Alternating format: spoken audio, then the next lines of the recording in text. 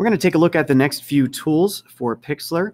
And by now, after completing the Edpuzzle, you should know how to open an image, how to crop an image, how to save an image, as well as a couple other little tools along the way. But we're going to get into what you can really do with Pixlr uh, once you learn what the different tools are that are available. So uh, you're going to go to the top of the page where you found this video. Called Pixlr Video Tutorials. And right at the top there, it says click here for the images I use in each video. And at the top of that page that it links to, you're going to see an image of a dog um, with its head tilted. So you're going to um, open that image in a new tab and copy the address of that image. So I'm just going to pull that over here and show you what I'm talking about. So here is that page with all the images and then open the dog in its own tab and copy that web address or the image addresses. Okay, and then go back to Pixlr and click load URL. You'll probably have to scroll down to find that, paste the address, click load. There you go. All right, so we're going to take this dog's head and we're actually going to put it onto the body of a doll. So on that same page where you found the dog, you're also going to find this doll. So you're going to do the same thing, open the image in a new tab, copy the image address, go back to Pixlr, but this time you're going to go to File, Open Image URL. And then when you paste that, click load. Now you have the doll. And you can switch between them by simply clicking on the names at the top of the window here. But we're going we're to start with the dog. Can close that. Okay, so we're going to use a tool called the lasso. And the lasso is located right below your move tool.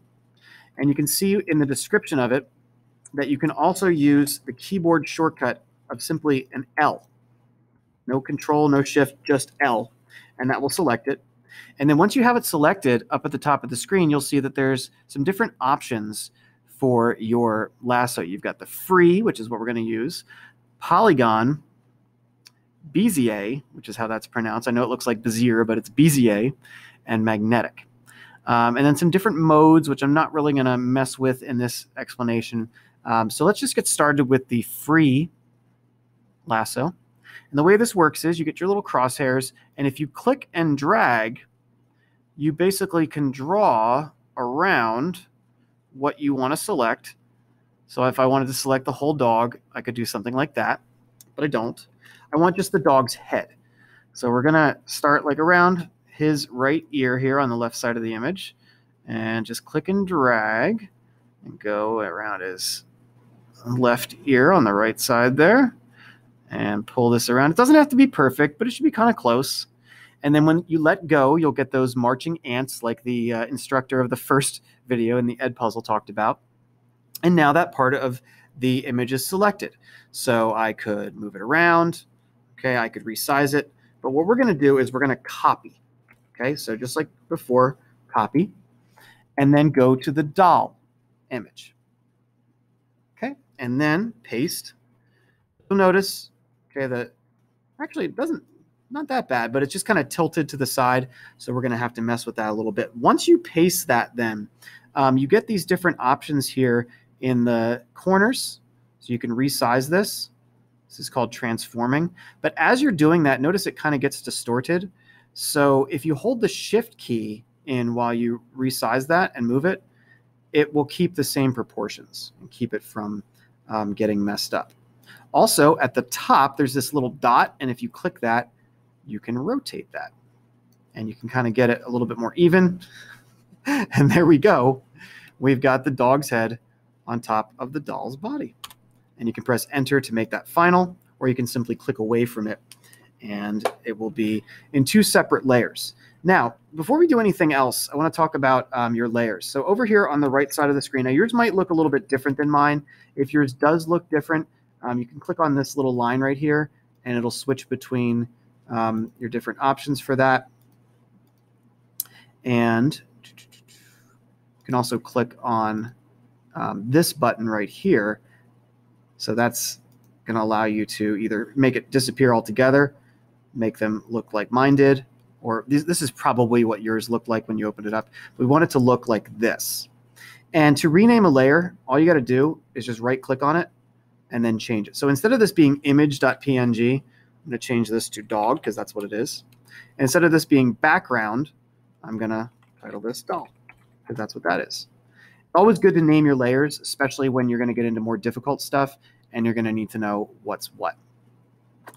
And um, if you decided that you needed to make a change to this dog's head, you'd want to make sure you have that layer selected. You can click on it, you can move it around, resize it. And if you want to do something with the doll, you'd have to click on that one. Um, now, I did want to show you one other quick thing about um, the lasso tool.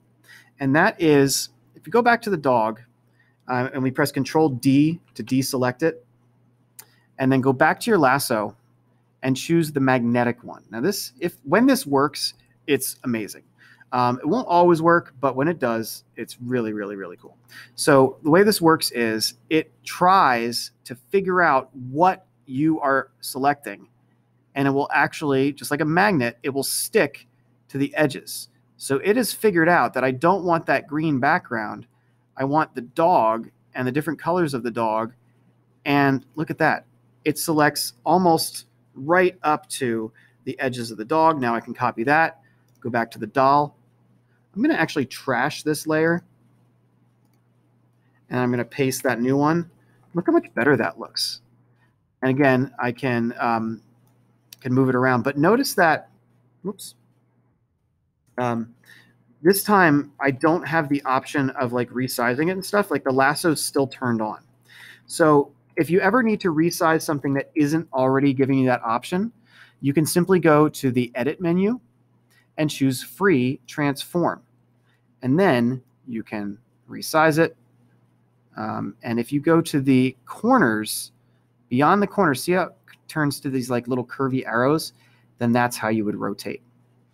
And this time, when you're using free transform, you do not need to press and hold shift while you're resizing if you do press and hold shift, this is a little confusing. If you press and hold shift while you're resizing, now it's going to distort it all kinds of ways. So play around with the lasso tool, play around with copy and paste, try out both the free lasso and the magnetic lasso.